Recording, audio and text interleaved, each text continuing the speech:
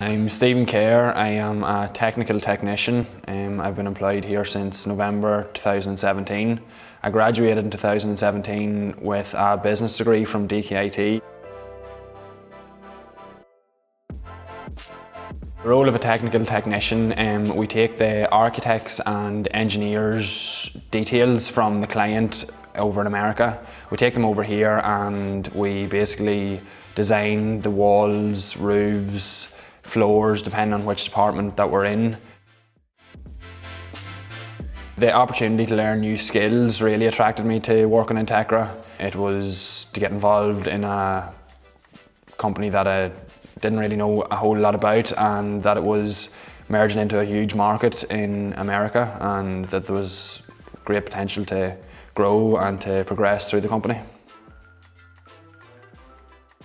I enjoy mostly working with the most up-to-date technology. Um, we use all modern methods of technology um, to build our houses to get all the answers that we need for our clients. We all work together to hit goals and hit targets and get everything out for whatever is needed.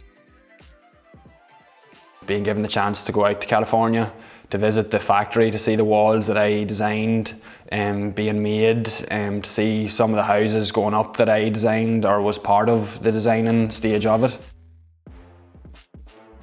Entekra also have days throughout the year where they might do team bonding, team building sessions or breakfast mornings where we meet um, each other's families and other things like that just to get to know each other a bit better and the overall, yeah, it's very, it's very good.